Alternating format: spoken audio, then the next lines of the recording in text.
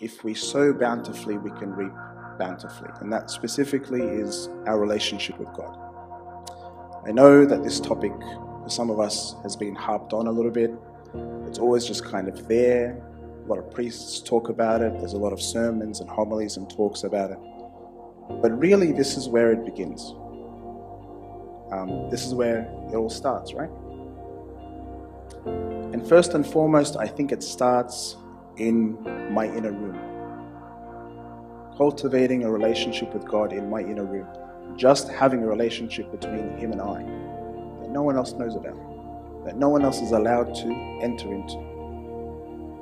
It becomes intimate, it becomes very personal. I, I can't build a relationship with someone I don't spend time with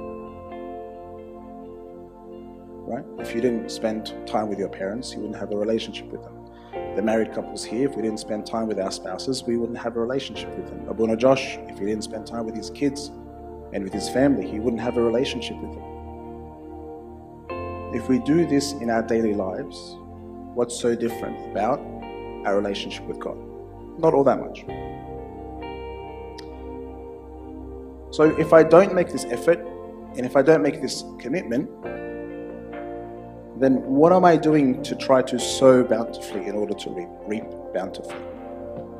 Yes, God is loving. He won't deny us. He won't turn us away. I'm not saying that. I think He also wants to see a desire, a willingness um, from, from within. I don't know if all of you are aware of, there's a, I should have taken, got a picture of it, but there's a famous icon of Christ knocking at the door. This is something that Anthony was talking about last week as well that I really, really liked. And the icon is a very famous one, and it's Christ at, the, at a door and he's, and he's knocking.